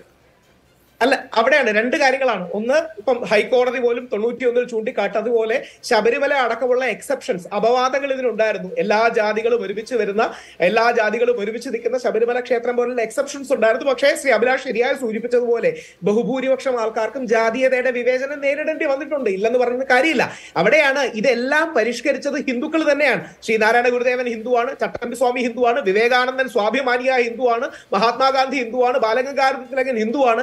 ഇവരെല്ലാം ഈ ഹിന്ദു ഫ്രെയിംവർക്കിനുള്ളിൽ നിന്ന് തന്നെ പരിഷ്കരണവാദികളായിരുന്നു. ഹിന്ദു സമൂഹത്തെ നശിപ്പിക്കുകയല്ല അവരുടെ ഉദ്ദേശം. അല്ലെങ്കിൽ ഹിന്ദു സമൂഹത്തിന്റെ നവോത്ഥാനവും പുനരുദ്ധാരണവും ചെയ്ത ഹിന്ദു ആക്ടിവിസ്റ്റുകൾ തന്നെയാണ് ഇവരെല്ലാം എന്ന കാര്യം നമ്മൾ മറക്കരുത്. അതുകൊണ്ട് ആ ഹിന്ദു ഫ്രെയിംവർക്കിനെ ഇവർ സംരക്ഷിച്ചു നിർത്തി എന്നുള്ള ഒരു കാര്യം. രണ്ട് ശ്രീ പെരിയാറിനെ കുറിച്ച് പറയുമ്പോൾ അവിടെയാണ് പെരിയാർ ഒരു ബ്രാഹ്മണ സമൂഹത്തിന്റെ തെറ്റുകളോട് പ്രതികരിച്ച് ഒരു ബ്രാഹ്മണ വിരോധിയായി മാറി അല്ലെങ്കിൽ ബ്രാഹ്മണ വിരോധം എന്ന് തോന്നുന്ന കാര്യങ്ങൾ പറയുന്ന വ്യക്തിയാണ്. അദ്ദേഹം ഈ മുരുകന്റെയും ശൂരപത്മന്റെയും ഉദാഹരണം പറഞ്ഞുകൊണ്ട് ഒരു ബ്രാഹ്മിൺ ജനോസൈഡ് അല്ലെങ്കിൽ ബ്രാഹ്മിൺ വംശഹത്യക്ക് വരെ ഈ ആയിരത്തി തൊള്ളായിരത്തി എഴുപതുകൾ വരെയുള്ള അദ്ദേഹത്തിന്റെ ഓഡിയോ കാസ്റ്റ് ഉണ്ട്. പക്ഷെ ഒരു എക്സ്ട്രീം റിയാക്ഷൻ ആയിരുന്നിരിക്കാം. അദ്ദേഹത്തിന്റെ ജീവിതത്തെ നെഗറ്റീവ് എക്സ്പീരിയൻസ് കൊണ്ടുണ്ടായ ഒരു എക്സ്ട്രീം റിയാക്ഷനാണ് പക്ഷെ ഇന്ന് നമ്മൾ ജാതീയതയുടെ പല വേലിക്കെട്ടുകളും ഒരു വലിയ പരിധി വരെ അതിജീവിച്ചു. തമിഴ്നാട്ടിൽ ബ്രാഹ്മണർ മാത്രമല്ല അല്ലെങ്കിൽ ഈ ജാതീയത ഡിവിഷൻ ഉണ്ടാകുന്ന സാമുദായങ്ങൾ സമുദായങ്ങൾ തമ്മിലുള്ള അകൽച്ചയാണ്. അപ്പൊ ഇന്ന് നമുക്ക് മഹാത്മാഗാന്ധിയുടെ ഒരു ഹാർമണൈസേഷൻ ഓഫ് കാസ്റ്റ് എന്ന് പറയുന്നതാണ്. ശ്രീ ദിനുവെയിലിനോട് ഒരു വിനീതമായ വിയോജിപ്പ് എന്ന് പറഞ്ഞാൽ ഭഗവത്ഗീതയിൽ തന്നെ ഭഗവാൻ കൃഷ്ണൻ പറയുന്നത് ചാതുർവർണ്യം മയാ സൃഷ്ടം ഗുണകർമ്മ വിഭാഗസാം. അതായത് വ്യത്യസ്ത വിഭാഗങ്ങളെ ഗുണത്തിനും കർമ്മത്തിനും അനുസരിച്ചാണ്. അതുകൊണ്ടാണ് വേദവ്യാസൻ മുക്കുവത്തിയുടെ മകനാണ്. അല്ലെങ്കിൽ രാമായണം എഴുതിയ വാൽമീകി ഭിൽ എന്ന് പറയുന്ന ഷെഡ്യൂൾ ട്രൈബ് സമുദായക്കാരനാണ്. ഭഗവാൻ ശ്രീകൃഷ്ണൻ ഒ ബി സി ആണ്. എന്നാൽ രാമായണത്തിലെ വില്ലനായ രാവണൻ ബ്രാഹ്മണനാണ്. വിശ്രവസിന്റെ മകനാണ്. അപ്പം ജാതീയതയ്ക്ക് അതീതമായ ഒരുപാട് നെറേറ്റീവുകൾ നമ്മുടെ ചരിത്രത്തിൽ തന്നെ ഉണ്ട് ജാതീയത നമ്മുടെ തെറ്റ് തന്നെയായിരുന്നു. പക്ഷെ ഒരു വലിയ പരിധി വരെ അതിജീവിക്കുമ്പോൾ ഹിന്ദു ധർമ്മത്തെ മോശമായി കാണിക്കുന്ന ശരിയല്ല. ഒരു വരി കൂടെ പറഞ്ഞ് അവസാനിപ്പിക്കുക അവിടെയാണ് മഹാത്മാഗാന്ധി പറയുന്നത്? മുമ്പ് ഭൂകമ്പം ഉണ്ടാവുമ്പോൾ മഹാത്മാഗാന്ധി ആലങ്കാരികമായി പറയുന്നത് ഈ ഭൂകമ്പം ദൈവം നമുക്ക് തന്നത്. എന്റെ ഓർമ്മ ശരിയാണെങ്കിൽ ബീഹാറിലെ ഭൂകമ്പമാണ്. ദൈവം നമുക്ക് തന്നത് നമ്മുടെ തൊട്ടുകൂടായ്മയ്ക്കെതിരെയുള്ള ശിക്ഷയാണെന്ന് മഹാത്മാഗാന്ധി പറയുന്നുണ്ട്. ഇതിനെ രവീന്ദ്രനാഥ് ടാഗോറൊക്കെ വിമർശിക്കുന്നുണ്ട്. അപ്പോൾ നമ്മുടെ ഇടയിൽ തെറ്റുകളുണ്ട്. പക്ഷെ ഒറ്റ ചോദ്യമേ ഉള്ളൂ. ആ തെറ്റുകൾ വെച്ച് ഇന്നും ഹിന്ദുക്കളെ വിഘടിപ്പിക്കണോ? ഇന്നും ഹിന്ദു ധർമ്മത്തെ അധിക്ഷേപിക്കണോ? ഇന്നും ഹിന്ദുക്കളെ അപമാനിക്കണോ? രണ്ട് മുസ്ലിം സഹോദരങ്ങൾക്കും ക്രിസ്ത്യൻ സഹോദരങ്ങൾക്കും കിട്ടുന്ന ബഹുമാനം. വേണ്ടേ? ഇതൊരു ക്രിസ്ത്യൻ മുസ്ലിം വിഭാഗത്തിനെതിരെ പറഞ്ഞാൽ one fifty three A two ninety five വരില്ലേ? അപ്പൊ ആ one fifty three A two ninety five വരുമ്പോ നരസിംഹാനന്ദ് തെറ്റാണെന്ന് ഒരു ഹിന്ദു ആക്ടിവിസ്റ്റ് എനിക്ക് പറയാമെങ്കിൽ സാഫി പ്രാജിക്കെതിരെ കേസ് കൊടുക്കാമെങ്കിൽ എന്തുകൊണ്ട് പറയാൻ പറ്റില്ല? ശരി ഹേറ്റ് സ്പീച്ച് ആണ് എന്നുള്ളതാണല്ലോ രാഹുൽ ഈശ്വറിന്റെ വാദം. അങ്ങനെയാണെങ്കിൽ ശ്രീ രാജു പി നായർ നോക്കൂ ഇപ്പോൾ വൺ ഫിഫ്റ്റി ത്രീ എ കേസിന്റെ കാര്യം പറഞ്ഞു. മതവിദ്വേഷം ഉണ്ടാക്കിയതിന്റെ പേരിൽ ഉദയനിധി സ്റ്റാലിനെതിരെ പല സംസ്ഥാനങ്ങളിൽ കേസ് വരികയാണ്. അതൊരു നിയമപ്രശ്നമായും നിയമ പോരാട്ടമായും ഒക്കെ വരാം. അപ്പോൾ നമുക്ക് നമ്മുടെ ചരിത്രത്തിൽ വളരെ വളരെ എന്താ പറയുക ആകസ്മികമായി സംഭവിച്ച ചില കാര്യങ്ങളാണ് വലിയ രാഷ്ട്രീയമായ മാറ്റങ്ങൾക്ക് വഴിതെളിച്ചിട്ടുള്ളത്. തമിഴ്നാട്ടിൽ തന്നെ ഒരു ഗ്രാമത്തിൽ നടന്ന മതം മാറ്റം ഫോർ എക്സാമ്പിൾ ആയിരത്തി തൊള്ളായിരത്തി എൺപതുകളിൽ ഇന്ത്യയിൽ ഹിന്ദുത്വ രാഷ്ട്രീയത്തിന്റെ അടിത്തറയിട്ട സംഭവമാണ്. ചിലപ്പോൾ വായിൽ നിന്ന് പോകുന്ന ഒരു വാക്കാവാം മീനാക്ഷിപുരമാണെന്ന് തോന്നുന്നു. അത് ഉണ്ടാക്കുന്ന പ്രത്യാഘാതം ഒരുപക്ഷെ നമുക്ക് പ്രവചിക്കാൻ കഴിയുന്നതായിരിക്കില്ല. ഇല്ല ഞാൻ പറഞ്ഞത് അതിന്റെ പ്രത്യാഘാതങ്ങളെ കുറിച്ചൊക്കെ നമുക്ക് കാത്തിരുന്ന് കാണുക തന്നെ. ഒരു പ്രത്യാഘാതവും അക്കാര്യത്തിലും ഉണ്ടാവില്ല. കാരണം ഇന്ന് ജനങ്ങൾ വോട്ട് ചെയ്യുന്നതും ആ വോട്ട് രാഷ്ട്രീയം തീരുമാനിക്കുന്നതും ഇന്നത്തെ ഭരണകൂടത്തിന്റെ ചെയ്തികളുടെ അടിസ്ഥാനത്തിലാണ്. ഞാനൊരു കാര്യം ചോദിക്കട്ടെ? ഇവിടെ ഇപ്പോൾ നമ്മൾ ഈ ഒരു ഉദയനിധി സ്റ്റാലിന്റെ ഈ പറയുന്ന ജാതീയതയ്ക്കെതിരായിട്ടുള്ള കാരണം അദ്ദേഹം വളരെ വ്യക്തമായിട്ട് ജാതീയതയ്ക്കെതിരായിട്ടുള്ള ഒരു നിലപാടാണ് അവിടെ പറഞ്ഞിരിക്കുന്നത്. അതിനെ എത്തരത്തിൽ പറയണമായിരുന്നുള്ള ചർച്ച ചെയ്യപ്പെടാം. പക്ഷെ അത് ഇന്ന് ആരാ പ്രാക്ടീസ് ചെയ്യണത്? മുസ്ലിങ്ങളും ക്രിസ്ത്യാനികളും ഉൾപ്പെടുന്ന മതന്യൂനപക്ഷം ആങ്ങാണോ ഇന്ന് ഈ രാജ്യത്തെ ദളിതരെ പീഡിപ്പിക്കുന്നത്? അല്ലല്ലോ. ഈ ഹിന്ദുത്വ രാഷ്ട്രീയമല്ലേ? ഈ ഹിന്ദുത്വ രാഷ്ട്രീയമാണ് ഇന്ന് ബീഹാർ ഉൾപ്പെടെയുള്ള നമ്മുടെ നോർത്ത് ഇന്ത്യൻ സംസ്ഥാനങ്ങളിലും ഗുജറാത്തിൽ ഉൾപ്പെടെ പശുവിന്റെ തൊലി അഴിച്ചതിന്റെ പേരിൽ ദളിതനെ കെട്ടിയിട്ട് മർദ്ദിച്ചത് സംഘപരിവാറിന്റെ ഹിന്ദുത്വ രാഷ്ട്രീയമാണ്. ആ ഹിന്ദുത്വ രാഷ്ട്രീയത്തിനെതിരായിട്ടുള്ള ഒരു ഒരു പോരാട്ടമായിട്ട് തമിഴ്നാട്ടിലുള്ള ഒരു രാഷ്ട്രീയത്തിന്റെ പശ്ചാത്തലത്തിൽ പറയുന്ന അതിന്റെ എസൻസിനെ നമുക്ക് എടുക്കേണ്ടി വരും. അതല്ലാതെ മുസ്ലിങ്ങളെ അല്ലെങ്കിൽ ക്രിസ്ത്യാനികൾ ഹിന്ദുത്വത്തെ ഹിന്ദു ഹിന്ദുവിനെ ആക്രമിക്കുന്നുണ്ടോ? ദളിതനെ ആക്രമിക്കുന്നുണ്ടോ? ആരാണ് ആക്രമിക്കപ്പെടുന്നത്? നമ്മുടെ ചരിത്രാതീത കാലം മുതൽ ഈ ബ്രാഹ്മണിക്കൽ ഒരു ഒരു മൈൻഡ് സെറ്റ് നടത്തുന്ന ആക്രമണം ഇന്നും നിലയ്ക്കുന്നില്ല എന്നുള്ളത് നമ്മുടെ രാജ്യത്ത് ഉദാഹരണങ്ങളുണ്ട്. അപ്പോൾ അതുകൊണ്ട് അതിന്റെ പശ്ചാത്തലത്തിൽ കാണുമ്പോൾ സ്വാഭാവികമായിട്ടും ഈ പോരാട്ടം ആർ എസ് എസിനെതിരായിട്ടുള്ള പോരാട്ടം തന്നെയാണ്. ഈ രാജ്യത്തെ ദളിതരും പട്ടികജാതി വിഭാഗക്കാരും ഈ സവർണ ഹിന്ദുത്വ രാഷ്ട്രീയ പക്ഷികളിൽ നിന്ന് അനുഭവിക്കുന്ന തിക്താനുഭവങ്ങളുടെ ആക്രമണങ്ങളുടെ അപമാനിക്കലിന്റെ അധിക്ഷേപിക്കുന്ന രാഷ്ട്രീയത്തിനെതിരായിട്ടുള്ള ഒരു രാഷ്ട്രീയം തന്നെ മാറും. അതിന്റെ വാക്കുകൾ അത് ഇന്ന് ഇപ്പം സനാതനധർമ്മം മുഴുവനായിട്ട് അത് ഹിന്ദുത്വമാക്കി മാറ്റാനാണ് നോക്കുന്നത്. ഹിന്ദു പോലുമല്ല. ഹിന്ദുത്വയാക്കാൻ നടത്തുന്ന ശ്രമമാണ്. അവിടെ കൃത്യമായിട്ട് ആ രാഷ്ട്രീയം പറയുക തന്നെ വേണ്ടിവരും അത് കൃത്യമായി കുറെ കൂടി വ്യക്തമായിട്ട് അത് പറയാമായിരുന്നു സ്റ്റാലിന്. അവിടെ ചില പരാമർശങ്ങൾ സ്റ്റാലിന് ഡെങ്കി മലേറിയ പോലെയുള്ള പരാമർശങ്ങൾ ഒഴിവാക്കാമായിരുന്നു. കുറെ കൂടി രാഷ്ട്രീയ പക്വതയോടുകൂടി ഇത് മുന്നോട്ട് വെച്ചിരുന്നെങ്കിൽ ഒരു സംശയവും വേണ്ട. അത് ഇന്ന് രാജ്യത്ത് നിൽക്കുന്ന ഹിന്ദുത്വ രാഷ്ട്രീയത്തിനെതിരെ ഏറ്റവും പ്രധാനപ്പെട്ട ഒരു സ്റ്റേറ്റ്മെന്റ് ആയി മാറുമായിരുന്നു. എല്ലാ രാഷ്ട്രീയമാണ് എന്നുള്ളതാണ്. തമിഴ്നാട്ടിലെ ശൈവ മഠങ്ങളുടെ പ്രതിനിധികളാണ് പാർലമെന്റിന്റെ ഉദ്ഘാടന ചടങ്ങിൽ പ്രധാനപ്പെട്ട അതിഥികളായി മാറിയത് തമിഴ്നാട്ടിൽ നിന്നുള്ള ചെങ്കോലാണ് പാർലമെന്റിൽ പ്രതിഷ്ഠിക്കപ്പെട്ടത്. തമിഴ്നാടിനെ നിങ്ങൾ സ്പെസിഫിക്കായി ഫോക്കസ് ചെയ്യുന്നുണ്ട് ഒരു പ്രത്യേക രാഷ്ട്രീയ രീതിയിൽ തന്നെ. അപ്പോൾ അതിനവിടെ കൗണ്ടർ ഉണ്ടാവും തമിഴ്നാട്ടിലെ ദ്രാവിഡ രാഷ്ട്രീയക്കാരുടെ ഭാഗത്തു നിന്ന്. അതൊന്ന്. പിന്നെ ഉത്തരേന്ത്യയിലെ രാഷ്ട്രീയം വേറെയാണല്ലോ. ഉദയനിധി സ്റ്റാലിനോ അല്ലെങ്കിൽ എം കെ സ്റ്റാലിനോ ഒന്നും മധ്യപ്രദേശിലോ രാജസ്ഥാനിലോ ഒന്നും ഏതെങ്കിലും തരത്തിൽ റോളില്ല ഇവിടെ കമൽനാഥ് ശിവരാജ് സിംഗ് ചൗഹാനേക്കാൾ വലിയ ഹിന്ദുവാണ് മധ്യപ്രദേശിൽ. അശോക് ഗെഹ്ലോട്ടിനോട് അയാളുടെ ഹിന്ദുത്വ ക്രെഡൻഷ്യൽസ് തെളിയിക്കാൻ നിങ്ങൾ ചോദിക്കോ. അതൊക്കെ വേറെ വേറെ രാഷ്ട്രീയമാണ് അല്ല അഭിലാഷേ ഇത്രയും വലിയ ബേജാറ് അഭിലാഷിനും കോൺഗ്രസ്സുകാർക്കും എന്തിനാ? എനിക്ക് ബേജാറൊന്നുമില്ല. നമ്മളെല്ലാ കാര്യങ്ങളും പറയണ്ടേ ഈ ഒരു ഒരു പ്രസ്താവന ഒരു അല്ല ഈ ഈ ഒരു പ്രസ്താവന അത്ര മാത്രം ഇന്നസെന്റ് ആണെങ്കിൽ എന്തിനാ ഇത്ര വലിയ ബേജാറ്? ഇവിടെ അതൊന്നും അല്ലല്ലോ ലക്ഷ്യം. ഞാൻ ആദ്യമേ സൂചിപ്പിച്ചല്ലോ. ഇത് ഇന്ത്യയെ തളർത്താൻ ഭാരതത്തെ തകർക്കാൻ തളർത്താൻ. ഇവിടുത്തെ ആത്മാവിനെ തളർത്തണം. അത് പണ്ട് മുഗളന്മാരും ബ്രിട്ടീഷുകാരും ചെയ്തത് തന്നെയാണ്. ഇന്നിപ്പോ ചൈനയ്ക്കും പാകിസ്ഥാനും വേണ്ടിയിട്ട് ഇന്ന് ഇന്ത്യയിലെ പ്രതിപക്ഷ നേതാക്കന്മാർ അതിനുവേണ്ടി ശ്രമിക്കുന്നു. ഞങ്ങളുടെ നിലപാട്. ചൈനയുടെയും പാകിസ്ഥാന്റെയും വലിയ രാജ്യമല്ലേ? ഇവിടെ വ്യത്യസ്ത ദർശനങ്ങളില്ലേ? എല്ലാവരും ഇന്ത്യക്കാരല്ലേ? എല്ലാ ഇന്ത്യക്കാരും അഭിപ്രായം പറയട്ടെ. ഏതെങ്കിലും നിങ്ങൾക്ക് വിരുദ്ധരായ ഇന്ത്യക്കാർ അഭിപ്രായം പറയുമ്പോൾ അത് പാകിസ്ഥാനും ചൈനയാവുന്നത് എങ്ങനെയാ? ഞാൻ പറഞ്ഞു തീർക്കട്ടെ അഭിലാഷ്. പക്ഷേ എത്ര ഞ- ഞാൻ അതിനുള്ള ഉദാഹരണങ്ങൾ പറഞ്ഞല്ലോ. നാൽപ്പത്തേഴ് മുതൽ അറുപത്തിരണ്ട് വരെ. ഇപ്പോഴും ഇപ്പോഴും ചൈനയുടെ ദല്ലാളന്മാരായിട്ട് പലരും നടന്ന് പരസ്യപ്രസ്ഥാനം നടത്തുന്നില്ലേ? ലഡാക്കിലുമൊക്കെ പോയതും ഒക്കെ നമ്മൾ കണ്ടതല്ലേ? അതിന്റെ ഒരു ആവർത്തനമാണിത്. അതിന്റെ മറ്റൊരു രൂപത്തിലുള്ളതാണ്. പിന്നെ സംഘപരിവാർ ദളിതർക്കെതിരാണ്.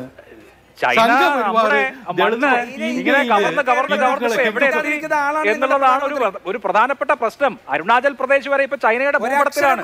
ചൈന ഇന്ത്യക്കകത്ത് ചൈന ഇന്ത്യക്കാരുടെ മണ്ണ് ഇടയ്ക്കിടപെടല്ലേ അവിടുത്തെ ആപ്ലിക്കേഷൻ നിരോധിച്ചതല്ലാതെ ചെയ്തു പ്രശ്നമാണ്. അത് ഓരോ രാജ്യസ്നേഹിയും കെ വി എസ് കാര്യമാണ്. Haridas. K V S Haridas ചൈനയുടെ ഏജന്റ് ഞാനൊന്ന് പൂർത്തിയാക്കട്ടെ അഭിലാഷേ. ഇന്ത്യയുടെ കഴിഞ്ഞിട്ട് അദ്ദേഹം മറുപടി പറയട്ടെ. മുപ്പത്തയ്യായിരം മുപ്പത്തയ്യായിരം നാൽപ്പതിനായിരം ചതുരശ്ര കിലോമീറ്റർ ഭൂമി ഇന്ത്യയുടെ ഭൂമി ശത്രു രാജ്യങ്ങൾക്ക് കൊടുത്തത് കോൺഗ്രസിന്റെ ഭരണകാലത്തല്ലേ? ഞങ്ങൾ ഞങ്ങൾ ഇന്നുള്ള അതിർത്തിയിൽ മുഴുവൻ നല്ല നിരത്തുകൾ റോഡുകൾ നിർമ്മിച്ചിട്ടുണ്ട്. അവിടെയൊന്നും ഇന്നിപ്പോ ചൈനയ്ക്ക് കടന്നു വരാൻ പറ്റുന്നില്ല.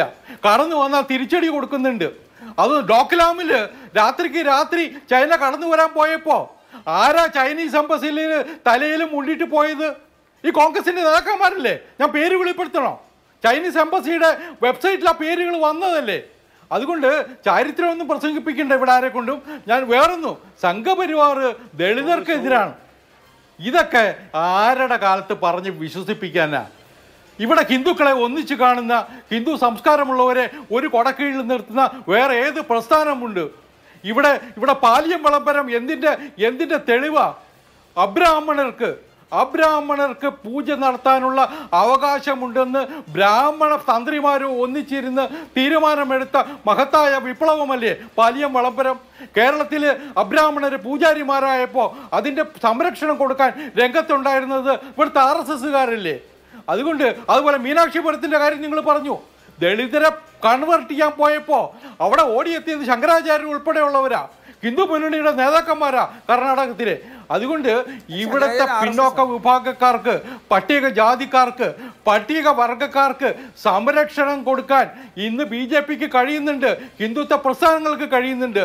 പാർലമെന്റിലുള്ള Dalit S C S T M പിമാരിൽ എഴുപത്തെട്ട് എൺപത് പേര് ബി ജെ പിയുടെ പ്രതിനിധികളാ. ശരി. ബി ജെ പിയുടെ പ്രതിനിധികളാ. ഞങ്ങൾ ഞങ്ങൾ അവരെ വിശ്വാസത്തിൽ എടുത്തുകൊണ്ട് തന്നെ അവരെ നെഞ്ചോട് ചേർത്തുകൊണ്ട് തന്നെയാണ് ഞങ്ങൾ സാമൂഹ്യ പ്രവർത്തനവും രാഷ്ട്രീയ പ്രവർത്തനവും നടത്തുന്നത്. അത് പഠിപ്പിക്കാൻ ഇന്ന് വേറെ ആരും വരേണ്ടതില്ല ഇവിടെ. ശരി ഓക്കെ. ശ്രീ രാജു പി നായർ മറുപടി. ഒന്ന് ചൈനയെ കുറിച്ചാണ് അദ്ദേഹം പറഞ്ഞത്. ഇന്ത്യ ചൈനയായിട്ട് യുദ്ധം ചെയ്തിട്ട് സ്ഥലം അവിടെ എക്സൈസ് ചെയ്യുന്ന ഉൾപ്പെടെ ചൈനയുടെ കൺട്രോളിലായിട്ടുള്ള കാര്യം സത്യമാണ്. പക്ഷേ ഇന്ത്യയുടെ അതിർത്തിക്കകത്ത് കടന്നു കയറി ഗ്രാമങ്ങൾ നിർമ്മിച്ച് അവിടുത്തെ സ്ഥലങ്ങൾക്ക് പേര് നൽകി അവരുടെ മാപ്പിൽ ഇന്ത്യയുടെ പ്രദേശങ്ങൾ ചേർത്ത് വരച്ചു വെച്ചിട്ട് പോലും ഒരക്ഷരം മിണ്ടിയില്ലെന്ന് മാത്രമല്ല ഇന്ത്യയുടെ അതിർത്തിക്കകത്ത് ചൈന കാലുകുത്തിയിട്ടില്ലെന്ന് പറഞ്ഞ ഇന്ത്യയുടെ പ്രധാനമന്ത്രി നരേന്ദ്രമോദിയാണ് ചൈനയുടെ ഏജന്റ്. അന്താരാഷ്ട്ര വേദികളിൽ മുഴുവൻ ചൈന സുഹൃത്തെ മൻമോഹൻ സിംഗിന്റെ കാലത്ത് രണ്ട് തവണ. അല്ല മൻമോഹൻ സിംഗിന്റെ കാലത്ത് രണ്ട് തവണ. അരുണാചൽ പ്രദേശ് ഉൾപ്പെടെ ചൈനയുടെ ഭാഗമാക്കി. അവർ മാപ്പ് ഇറക്കിയിട്ടുണ്ട്. അന്ന് നിങ്ങൾ മിണ്ടിയോ? ഞാൻ പറയട്ടെ. ഞാൻ പറയട്ടെ. ഒരു കാലത്തും ഒരു കാലത്തും ഇന്ത്യയുടെ അതിർത്തിക്ക്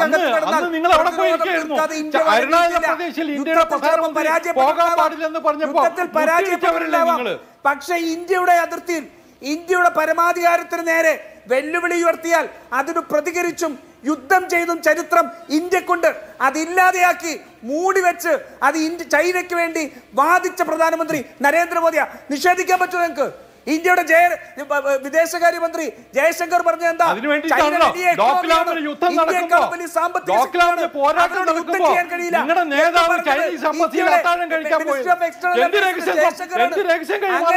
ഞങ്ങൾ ഒരിക്കലും ഒരിക്കലും ചൈനയല്ല ഏത് ഏത് രാജ്യം ഇവിടെ ഭീഷണി ഉയർത്തിയാലും അവർക്ക് നേർക്ക് നേർ നിന്ന് പോരാടിയ ചരിത്രമാണ് ഈ രാജ്യത്തിനുള്ളത്. അത് രണ്ടായിരത്തി പതിനാലിൽ അവസാനിച്ചു. അവർക്ക് മുൻപിൽ മുട്ടിലിഴയുന്ന ഇന്ത്യയുടെ പ്രധാനമന്ത്രി വന്നതോടുകൂടി ആ അഭിമാനകരമായ ആത്മാഭിമാനത്തോടു കൂടി ഈ രാജ്യം നിന്നിരുന്ന ചരിത്രം അവസാനിച്ചു. മനസ്സിലായില്ലേ? പിന്നെ. നിങ്ങൾ ദളിതർക്ക് സംരക്ഷണം കൊടുക്കുന്നു. നിങ്ങൾ എവിടെയാ ദളിതർക്ക് സംരക്ഷണം കൊടുത്തിട്ടുള്ളത്? ഈ ഇന്ത്യയുടെ മുഴുവൻ ഈ ഹിന്ദുത്വ രാഷ്ട്രീയം നിലനിൽക്കുന്ന മുഴുവൻ പ്രദേശത്തും ദളിതർ ആക്രമിക്കപ്പെട്ടപ്പോൾ വെള്ളമെടുക്കുന്നതിന് പേരിൽ ആക്രമിക്കപ്പെട്ടപ്പോൾ പശുവിന്റെ തോലുരീതിയുടെ പേരിൽ ആക്രമിക്കപ്പെട്ടപ്പോൾ എവിടെയായിരുന്നു? നിങ്ങൾ എന്താ ഇതെടുത്തത്? അവിടുത്തെ ഹിന്ദുത്വവാദികൾക്ക് വേണ്ടി നിങ്ങൾ സംരക്ഷണം തീർക്കുകയായിരുന്നു. നിങ്ങളെ സംബന്ധിച്ചോളം ഞാൻ നേരത്തെ ഇവിടെ അഭിലാഷേ ഇവിടെ നേരത്തെ നമ്മുടെ ബഹുവാബോയിത്ര പറഞ്ഞിരിക്കുന്ന ഒരു കാര്യമുണ്ട്. ഈ രാജ്യത്ത് മതന്യൂനപക്ഷങ്ങൾ ഇല്ലാതിരിക്കുന്ന കാലത്തോളം മാത്രമാണ് നമ്മളൊക്കെ ഹിന്ദുക്കൾ. അത് കഴിഞ്ഞാൽ ബ്രാഹ്മണനും ദളിതനുമായി മാറുന്ന സാഹചര്യം ഉണ്ടാവും. അതാണ് ഹിന്ദുത്വ രാഷ്ട്രീയം. ആ രാഷ്ട്രീയത്തിലുള്ള എതിർപ്പ് തന്നെയാണ് ഞങ്ങൾക്കുള്ളത്. ആ രാഷ്ട്രീയത്തെ തന്നെയാണ് ഇന്ത്യ മുന്നണി പോരാടി പരാജയപ്പെടുത്താൻ പോകുന്നത്. ശരി ഓക്കെ. ദിനു വെയിൽ. ഇപ്പോ നമുക്ക് വലിയ കൂട്ട മതപരിവർത്തനങ്ങളുടെ ചരിത്രമുണ്ട്. ബി ആർ അംബേദ്കർ തന്നെ ഒരു വലിയ മതപരിവർത്തനത്തിന് നേതൃത്വം നൽകിയിട്ടുണ്ട്. ബുദ്ധമതത്തിലേക്കുള്ള പരിവർത്തനത്തിന്. എല്ലാം ഈ ദളിത് വിഭാഗത്തിൽപ്പെട്ട ആളുകളായിരുന്നു. കേരളത്തിലും ഉണ്ടായിട്ടുണ്ട്. അതിന് എന്തായിരുന്നു കാരണമെന്ന് ചോദിച്ചാൽ വിവേചനത്തിൽ നിന്ന് അവർ സ്വതന്ത്രരാവുകയായിരുന്നു എന്നുള്ളതാണ് അതിന്റെ സാമാന്യമായ വിശദീകരണം. പക്ഷേ കാലം മുന്നോട്ട് പോകുമ്പോൾ ഇപ്പോൾ നമ്മൾ ഇപ്പോഴത്തെ നിലയിൽ നോക്കിയാൽ വിവിധ സംസ്ഥാനങ്ങൾ എടുത്താൽ ബി ജെ പിയുടെ ഇലക്ടറൽ സ്ട്രാറ്റജിയിലെ പ്രധാനപ്പെട്ട വിഭാഗങ്ങൾ ദലിതുകളാണ് വലിയ പിന്തുണ. കോൺഗ്രസിനേക്കാൾ കൂടുതൽ പിന്തുണ ദളിത് വിഭാഗങ്ങൾക്കിടയിൽ ബി ജെ പിക്കാണ് എന്ന് ഈ ഇലക്ഷൻ സ്റ്റാറ്റിസ്റ്റിക്സ് പറയുന്നു. ഇവിടെ റെപ്രസെന്റേഷനെ കണക്കൊക്കെ കെ വി എസ് ഹരിദാസ് വിശദീകരിച്ചു. അപ്പോൾ അതുകൊണ്ട് ഇപ്പോൾ അംബേദ്കറുടെ കാലത്തെ ഒരു കൂട്ട മതപരിവർത്തനമോ അല്ലെങ്കിൽ ആ തരത്തിലുള്ള ഒരു പോരാട്ടമോ ഉണ്ടായിരുന്ന ആ കോണ്ടക്സ്റ്റും ഇപ്പോൾ മാറിയിട്ടില്ലേ?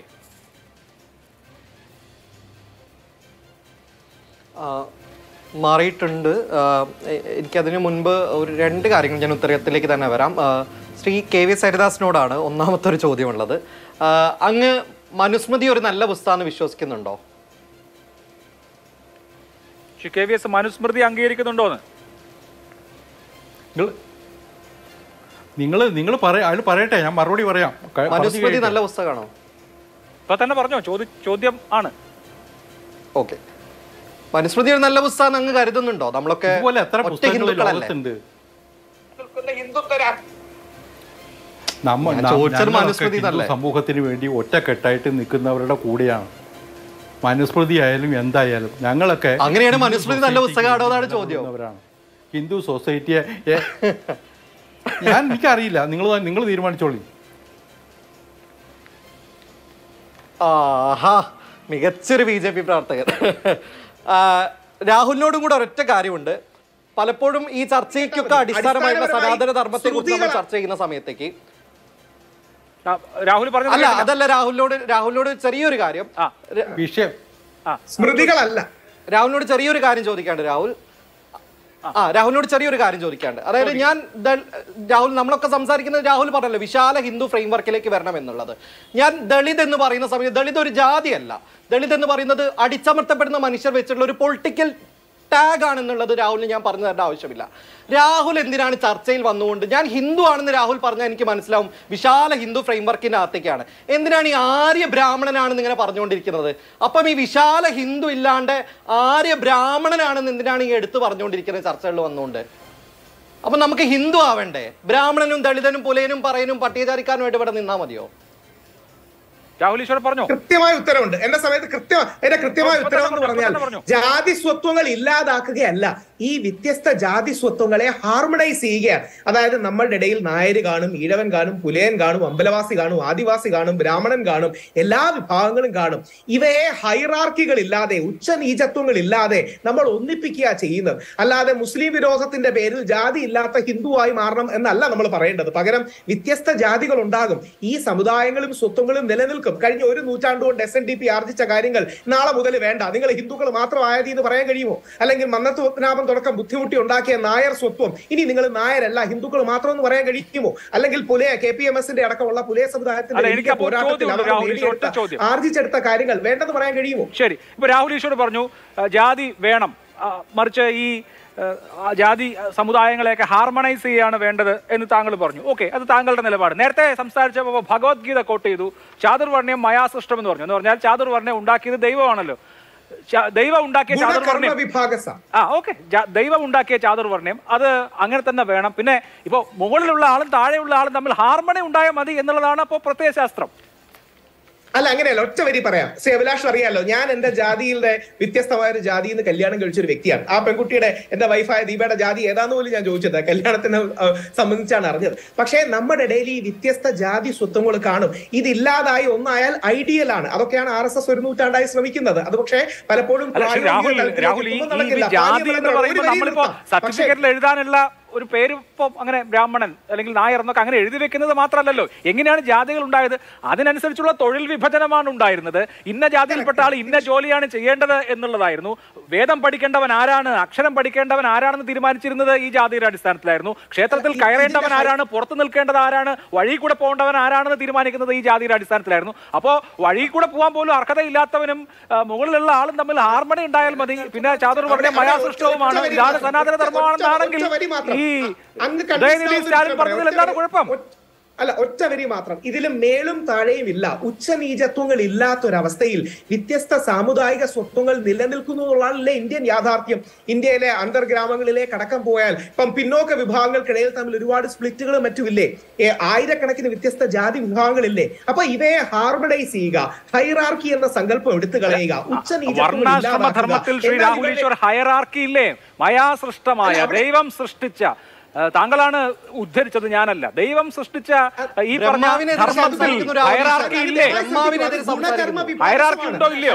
അല്ല അത് അല്ല അത്. അങ്ങനെയല്ല സാർ അങ്ങനെയല്ല. അങ്ങനെ കാറ്റഗറൈസേഷൻ ഉണ്ട് ഹൈറാർക്കി ഇല്ല. ചാതുർവർണയം മായാസൃഷ്ടം ഗുണകർമ്മ വിഭാഗസാം. അതുകൊണ്ടല്ലേ വേദങ്ങൾ ക്രോഡീകരിച്ച വേദവ്യാസൻ മുക്കുവത്തിയായ സത്യവതിയുടെ മകനല്ലേ? അല്ലെങ്കിൽ വാൽമീകി ഭിൽ സമുദായത്തിൽ പറഞ്ഞ ഷെഡ്യൂൾ ട്രൈബ് വിഭാഗത്തിൽപ്പെടുന്ന വിഭാഗത്തിൽ പെടുന്ന വ്യക്തിയല്ലേ? ശ്രീകൃഷ്ണൻ കറുപ്പും ഒ ബി സി വിഭാഗത്തിലെ യാദവ സമൂഹത്തിൽപ്പെടുന്ന വ്യക്തിയല്ലേ? എന്ന രാവണൻ ബ്രാഹ്മണനല്ലേ? അപ്പം ചരിത്രത്തിൽ നമുക്ക് തെറ്റുകൾ ഉണ്ടായിട്ടുണ്ട് നല്ല മാതൃകകളും ഉണ്ടായിട്ടുണ്ട്. അപ്പം ചരിത്രത്തിന്റെ നല്ല വശങ്ങളെ ഹൈലൈറ്റ് ചെയ്യുകയും ചരിത്രമല്ല. ശ്രീ ദിനു പെട്ടെന്ന് മറുപടി. എനിക്ക് ഇടവേള വേണം. ഒരു മറുപടി പറഞ്ഞിട്ട് ഞാൻ ഇടവേള എടുക്കാം. അതെ അതെ അതെ. ഒന്ന് ഈ പറയുന്ന സനാതന ധർമ്മം എന്ന് പറയുന്നത് കുഴപ്പം പിടിച്ച സാധനമാണെന്ന് കേരളത്തിനകത്ത് മാത്രം തൃശ്ശൂർപ്പേരൂരുള്ള ഒരൊറ്റ ആർക്കൈവ്സ് നമ്മൾ പരിശോധിച്ചാൽ മതി. ഒരു മനുഷ്യനെ കാളയ്ക്കൊപ്പം നുഖം കെട്ടിയിട്ട് മനുഷ്യന്റെ നട്ടെല്ല് പൊട്ടി ആ മനുഷ്യൻ അവിടെ മരിച്ചു വീഴുമ്പോൾ തൃശ്ശിവപ്പേരൂർ ദേശത്തെ നാടുവാഴി എഴുതുന്ന കുറിപ്പ് എന്ന് പറയുന്നത് സനാതന ധർമ്മ വിശ്വാസ പ്രകാരം ധർമ്മശാസ്ത്ര പ്രകാരം ഈ ശിക്ഷാരീതി ശരിയാണെന്നാണ് എഴുതി വെച്ചേക്കുന്നത്. ഈ ശിക്ഷാരീതിയെ ന്യായീകരിക്കുന്ന ഒരു ഒരു സമൂഹം ഇവിടെ ഉണ്ടാവുന്ന സമയത്ത് ഭരണഘടനയ്ക്ക് മുകളിൽ മനുസ്മൃതി സൃഷ്ടിക്കാൻ വേണ്ടി ശ്രമിക്കുന്ന സമയത്ത് തീർച്ചയായും സനാതന ധർമ്മത്തിന്റെ ഹൈറാർക്കിയെ ഇതിന്റെ ഹെജിമണിയെ ചോദ്യം ചെയ്യുക തന്നെ വേണം. അംബേദ്കർ കൃത്യമായിട്ട് ഒരു കാര്യം കൂടെ സൂചിപ്പിച്ചിട്ടുണ്ട്. I want to make the mass of people to realise that Hindu religion is not Sanatan സനാതനയെ അല്ല എന്ന് വളരെ കൃത്യമായി ഡോക്ടർ ബി ആർ അംബേദ്കർ അടക്കം ആളുകൾ പറഞ്ഞിട്ടുണ്ട്. പിന്നെ നാരായണ ഗുരുവിനൊക്കെ ഹിന്ദു ആക്കും എന്നുള്ളത് അദ്ദേഹത്തിന് നല്ല ബോധ്യമുണ്ട്. രാഹുൽ ഈശ്വരൊക്കെ ഉണ്ടാവും എന്ന ബോധ്യത്തിൽ തന്നെയാണ് അദ്ദേഹം കൃത്യമായി പറഞ്ഞത്. ചില ആളുകൾ നമ്മെ അവരിൽപ്പെട്ട ആളുകളാക്കാൻ വേണ്ടി നോക്കുന്നു. ഹിന്ദു എന്നൊരു മതമേ ഇല്ല എന്ന് പറഞ്ഞത് രാഹുൽ ഈശ്വരനെ പോലുള്ള ഏറ്റെടുക്കൽ ആളുകൾ വരുമെന്ന് ഉറപ്പുള്ളത് കൊണ്ടാണ് ശ്രീനാരായണ. നേരത്തെ പറഞ്ഞു വെച്ചെന്നുള്ളത് ഏത് കാലത്ത് ഏത് ഏത് ഏത് കാലത്താണ് രാഹുൽ ഈശ്വരനെ പോലുള്ളവർ മതമോ ഇല്ല എന്ന് എന്തായാലും നാരായണ ഗുരു ഒരു വിളംബരം തന്നെ അല്ല പുറപ്പെടുവിച്ചിരുന്നു. മന്നത്വപ്രാവൻ പറയുന്നുണ്ട് ശരി, നമ്മളെല്ലാം ഇടവേള വേണം, ഇടവേളയ്ക്ക് ശേഷം ശ്രീനാരായണീയരാണ് സമയം ഉണ്ടെങ്കിൽ മടങ്ങി വരാം. ഇടവേള. ചർച്ചയിലേക്ക് വീണ്ടും. പക്ഷെ കെ വി എസ് ഹരിദാസ് ഈ ഉദയനിധി സ്റ്റാലിൻ ഇങ്ങനെ പറഞ്ഞെങ്കിലും ഇപ്പോൾ തമിഴ്നാട്ടിൽ ഇപ്പോൾ ക്ഷേത്രങ്ങൾക്ക് മതവിശ്വാസങ്ങൾക്ക് ഒക്കെ വലിയ പ്രാധാന്യമുണ്ട്. ആ- നിലയ്ക്ക് തന്നെയാണ് സമൂഹം മുന്നോട്ട് പോകുന്നത്. പക്ഷേ നമുക്കറിയാം അറുപതുകളിൽ കോൺഗ്രസ് വീട ശേഷം രണ്ട് ദ്രാവിഡ പാർട്ടികൾ അങ്ങോട്ടും ഇങ്ങോട്ടും മാറി മാറി അധികാരം പങ്കെടുക്കുകയാണ് വേറൊരു പൊളിറ്റിക്കൽ ഫോഴ്സിന് അവിടെ എൻട്രി തന്നെ ഇല്ല. ബി ജെ പിയുടെ അവസ്ഥയും ഇത് തന്നെയാണ്. അതുകൊണ്ട് ഇങ്ങനെ ഒരു വിവാദം ഉണ്ടായതുകൊണ്ട് തമിഴ്നാട്ടിൽ പ്രത്യേകിച്ച് എന്തെങ്കിലും മാറ്റം ഉണ്ടാവും എന്ന് നിങ്ങൾ കരുതുന്നുണ്ടോ? അല്ല അഭിലാഷ് ഇത് തമിഴ്നാടിന്റെ മാത്രം കാര്യമല്ല. ഞാൻ അതുകൊണ്ടാണ് ഞാനിത് ആവർത്തിക്കുന്നേ. ഇതിനെ പരസ്യമായിട്ട് തള്ളി പറയാൻ കോൺഗ്രസോ അവർക്കൊപ്പം നിൽക്കുന്നവരോ ഇനിയും തയ്യാറായിട്ടില്ല. ഡി എം കെ പരസ്യമായിട്ട് തള്ളി പറയാൻ തയ്യാറായിട്ടുണ്ടോ? അത് അത് ചെറിയ കാര്യമല്ല. നമ്മൾ സനാതന ധർമ്മം എന്ന് പറയുന്നത് എന്താ? അത് ഹിന്ദുത്വമാണ്. അത് നമ്മുടെ ആത്മാവാണ്. അപ്പൊ ഇന്ത്യയുടെ ആത്മാവിനെ ഭാരതത്തിന്റെ ആത്മാവിനെ തകർക്കാനുള്ള ഒരു ഒരു ആസൂത്രിത പദ്ധതി. സനാതനധർമ്മം. രാജ്യത്തിന്റെ വിവിധ ഭാഗങ്ങളിൽ. അതിന്റെ ഒരു- അതിന്റെ- ഒരു. സനാതന ധർമ്മമാണ് ഹിന്ദുത്വം എന്ന് ശങ്കരാചാര്യരെ പഠിച്ചാൽ മനസ്സിലാവും. ശങ്കരാചാര്യരുടെ കാലത്തൊന്നും